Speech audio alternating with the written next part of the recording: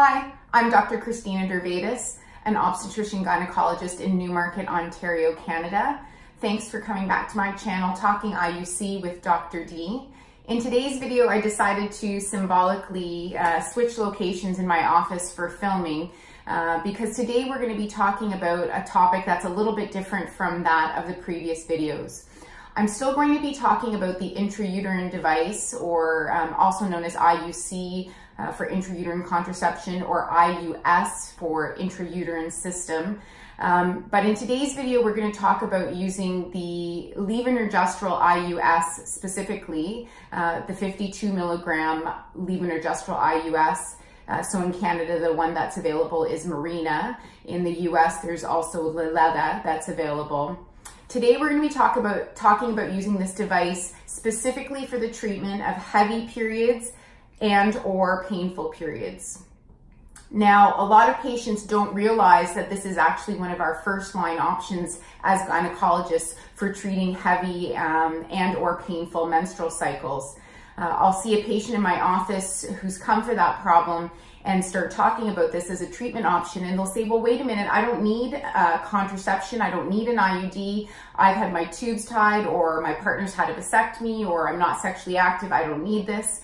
And I have to explain to them that actually we use this quite commonly for treating uh, many um, menstrual bleeding uh, disorders and uh, causes of painful uh, menstrual bleeding.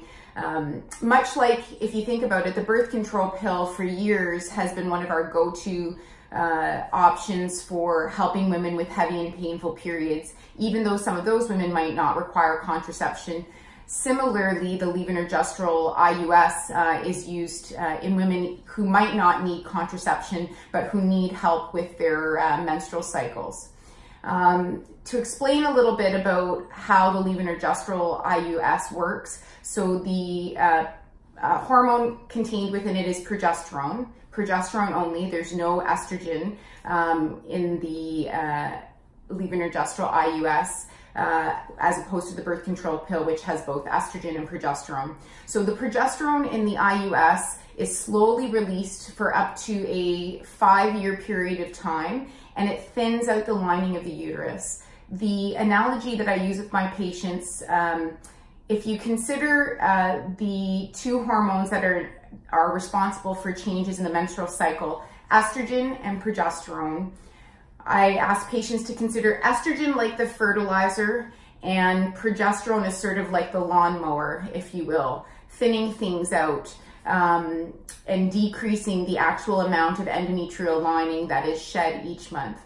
And when the levonorgestrel uh, IUS is in place, it's sort of like I use this analogy, it's like mowing the lawn every day. Um, and for that reason, that's why up to 30% of patients using the uh, levonorgestrel IUS, up to 30% of patients may not have any menstrual bleeding, not because something is being built up um, or left behind. A lot of patients are afraid of that and think it's not healthy or natural not to bleed, but it's sort of simply like mowing the lawn every day. If you're doing that every day, if the progesterone exposure is there every day, then there's not really a whole lot of endometrial lining to build up. And so that's why menstrual bleeding is less or sometimes almost non-existent.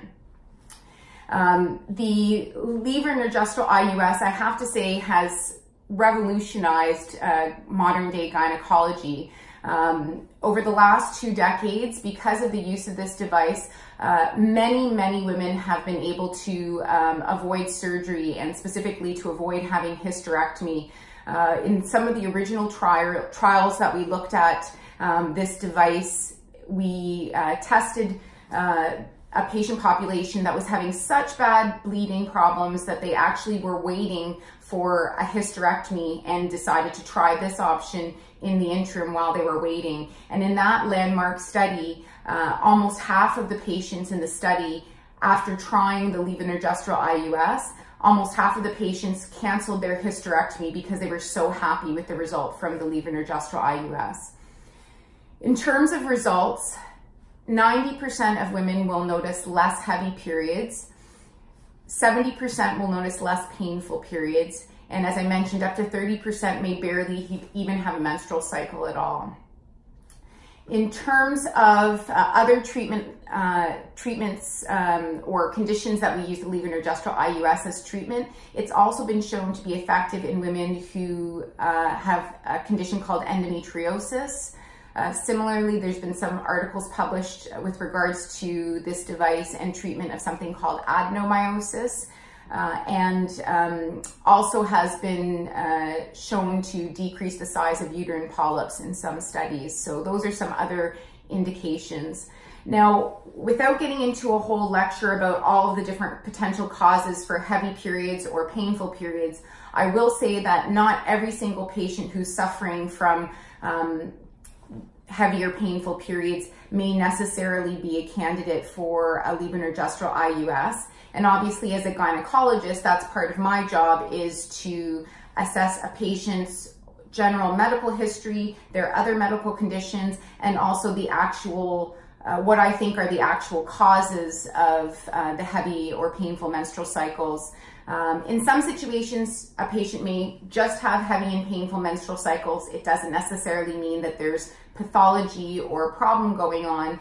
Um, but in some situations, we may elect to do further testing, such as ultrasounds, um, such as uh, a sampling of tissue called an endometrial biopsy. So as a gynecologist, my job is to sort of do what we call a workup of what we think might be causing the heavier painful periods. And then I would decide uh, whether that patient is a candidate for uh, a levonorgestrel IUS or whether I think that she might be helped by a levonorgestrel IUS.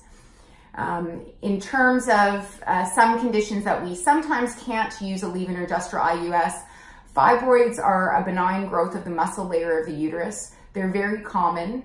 They sometimes cause heavy um, menstrual bleeding depending on their location. So when I'm talking to a patient who has fibroid related bleeding, we sometimes will do a more specialized ultrasound to further delineate the exact location of the fibroids as to whether or not I think they're a cause of their heavy periods and also whether or not the location of the fibroids may have a uh, bearing on whether or not a levonorgestrel IUS uh, might be a good idea or not.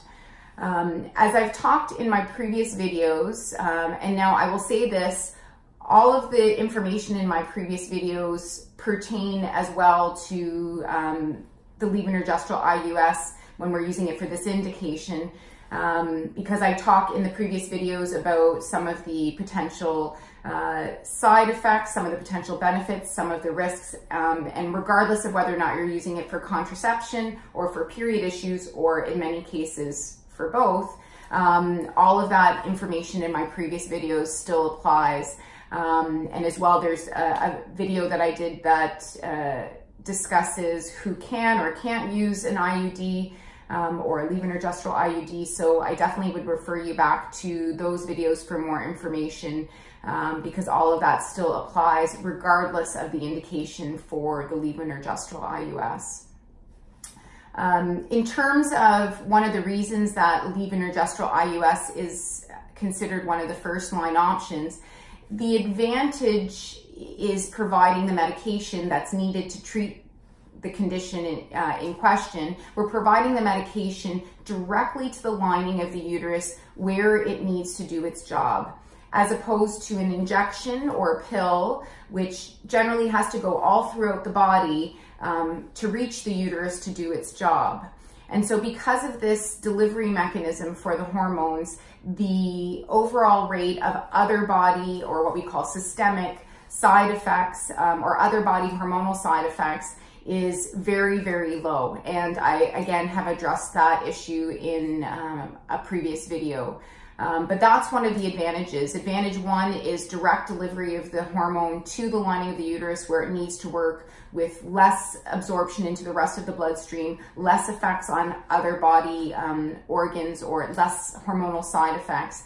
The second advantage is that it doesn't contain estrogen, which really isn't necessary in this situation to treat the problem. The main hormone in question that we need to work is progesterone. So as opposed to the birth control pill where you're getting estrogen and progesterone with the IUD uh, or levonorgestrel IUS, you're really just getting the progesterone that's needed to treat the uh, heavier painful menses.